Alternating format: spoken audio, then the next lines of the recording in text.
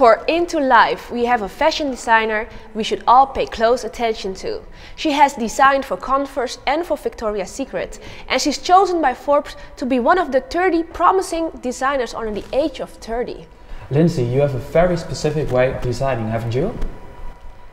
Uh, I think my way of designing is kind of specific because I only do knits, and beyond that, I only produce them all myself here in Brooklyn. So everything is very considered and color is really important because of that. Yeah, you had one show where you had people um, making your clothes live on stage, right?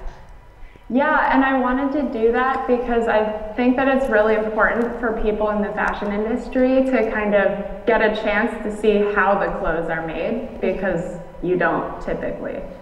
And do you have some advices for starting designers? I think my main advice for starting designers would be to follow your own vision. I think the only reason I've had any success is because my collection looks like I've made it. And so people appreciate individual visions. So do you. Okay, thank you. If you want to see more designs of Lindsay, please check our website intoconnection.com. Bye. Thank you.